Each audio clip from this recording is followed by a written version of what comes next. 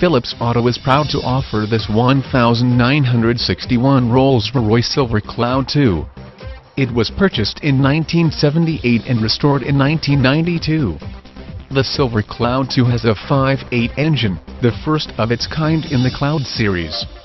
This vehicle is rare in that it has the long wheelbase body proving extra length for rear seats passengers, riding desks and an electric dividing window between the chauffeur and the persons riding in the back seat. During restoration, the leather on all seats was replaced by Connolly hides. Sale of the vehicle also includes an original manual. Vehicle has been driven very little since restoration,